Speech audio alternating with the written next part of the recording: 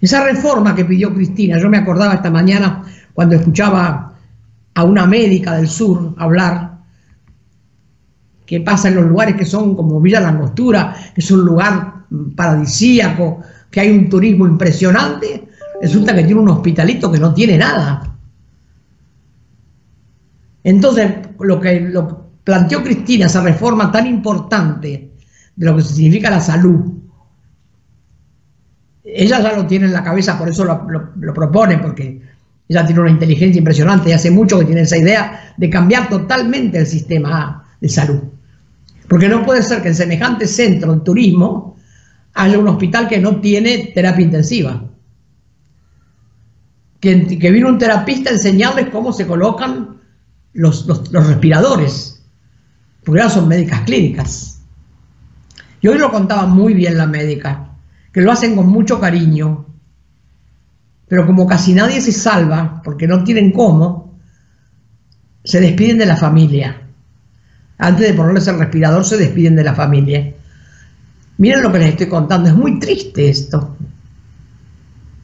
Tanto turismo, tanto lago, tanta riqueza, tanta tanta nieve para patinar y no tenemos un hospital como la gente. Por eso hay tanto que revisar. Imagínense si ahí, en Villa Langostura, hay un hospital que las médicas están atendiendo de voluntad porque no dan más, están cansadas. Explicaba esa chica hoy, ya de cordobesa, hace cuatro años que está trabajando ahí, pero que no da más de cansada que está. Porque trabajan 24 por 24 y no pueden dejar porque no hay otros. Ahora han venido dos o tres de otro lado que se han quedado para ayudarlas. Imagínense qué serán las provincias más pobres. ¿Qué serán las provincias más pobres? En Santiago, ¿habrá un hospital de acuerdo al estadio de fútbol que hicieron?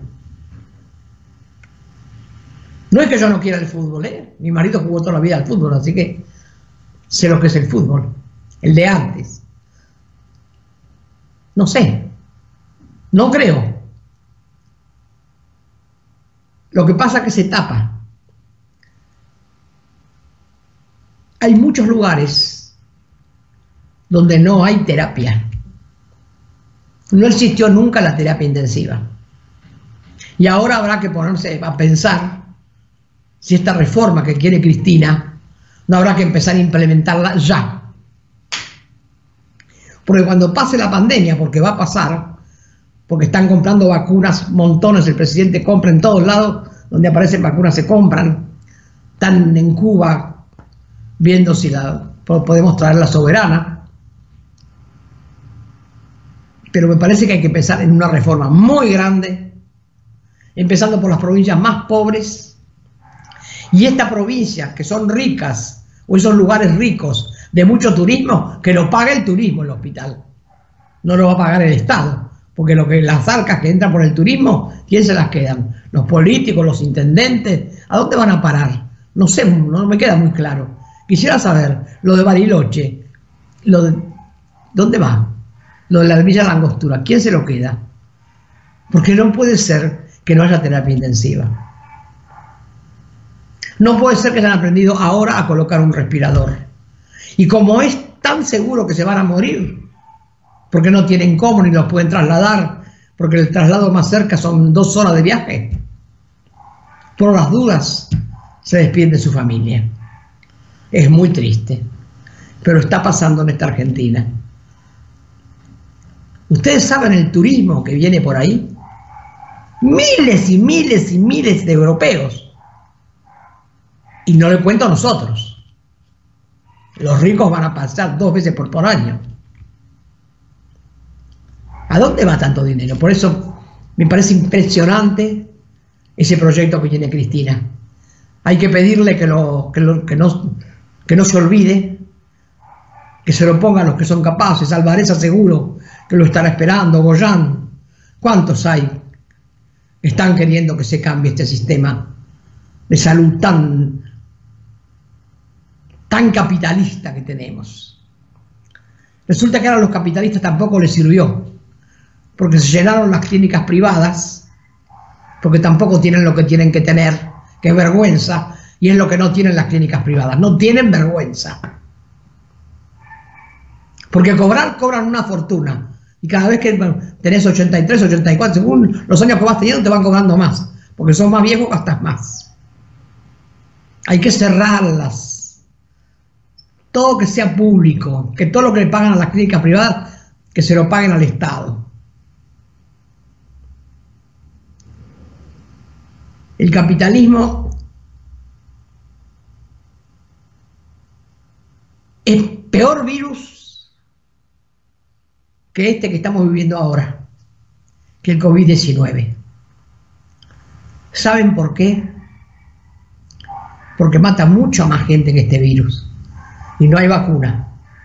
Y nadie se ocupa, o pocos, porque cuando nos ocupamos de las vacunas, como se quisieron ocupar nuestras hijas y nuestros hijos, los asesinaron salvajemente.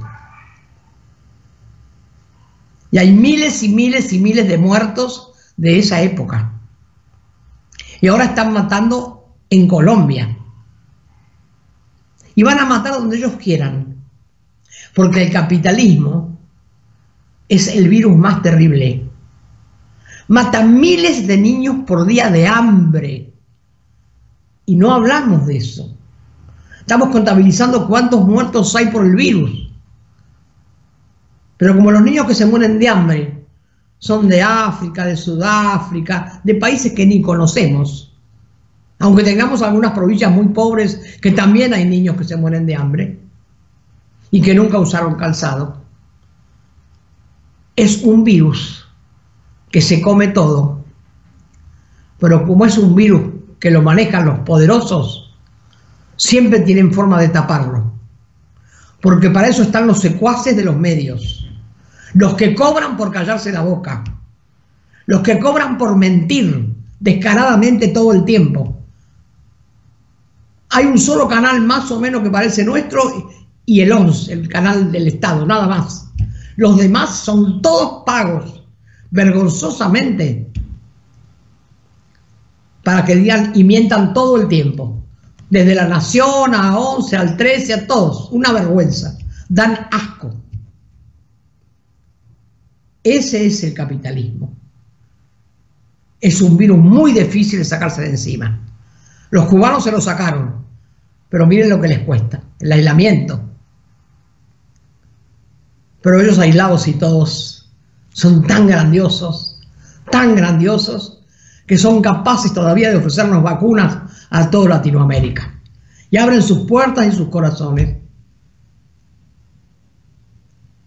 ¿Cómo lo formó de bien Fidel? Qué maravilla. ¿Cómo formó a ese pueblo que sigue siendo tan generoso? Reparten lo poco que tienen. Lo repetían tanto nuestros hijos compartir lo poco que tenemos. Es tan hermoso esa palabra, esa frase. Yo tengo esperanzas que las generaciones que se animen a buscar una vacuna seria, como la que buscó Fidel, para terminar con el capitalismo. Si no terminamos con el capitalismo, va a ser difícil que podamos terminar con los virus. ¿Saben por qué? Porque son ellos mismos los que hacen que después se mueran los que menos tienen.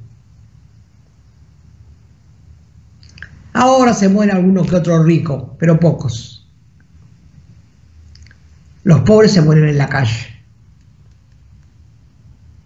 Y no nos olvidemos que por el capitalismo han muerto millones y millones y millones y millones de niños y niñas de hambre de niños y niñas que se ahogan cuando quieren cruzar una frontera. Haití sigue en guerra permanente, tiene montones de niños que no tienen quien los cuide. tiene cosas de mucha riqueza que se las llevan los yanquis. Haití es un país terrible. ¿Cómo están sus niños y niñas en las calles, descalzos, sin agua, sin nada? ¿Qué nos asustamos tanto de este virus? Si tenemos un, uno que se llama capitalismo, que nos hicieron creer que hablar del marxismo era terrorismo. El capitalismo es terrorista. Y un terrorista que mata todos los días millones y millones y millones. Por hambre, por falta de atención, por falta de medicina, por falta de trabajo. Ese es el virus más peligroso. Que lo quieren llevar adelante. La Carrió, Macri, la, Reta. Ellos están del lado de la muerte. Macri dijo que mueran todos los que tienen que morir y la reta lo cumple al pie de la letra. Hasta el jueves que viene.